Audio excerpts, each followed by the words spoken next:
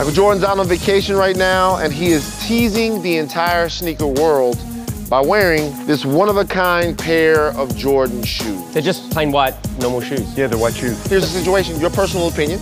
A lot of different people in the sneaker world love to see what Michael Jordan is wearing.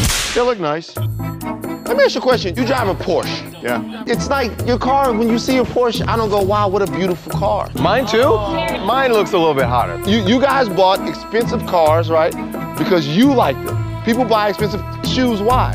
Because they like them. There is engineering behind this. There's engineering behind shoes too. I don't know. The Yeezys were all about like impressing people. You don't think a Porsche is about impressing people? And not for me.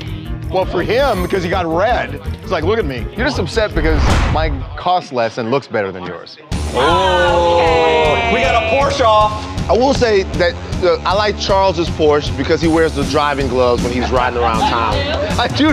Now you're making stuff up, man. So you're making that up, but you don't need to because we have pictures of him where he dressed up in matching clothes to match the car. That was a different car. That was a Ferrari.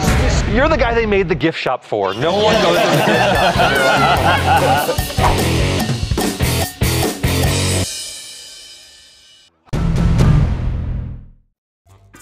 TMZ. If you like our vibe, click on that button and hit subscribe. We'll send you more.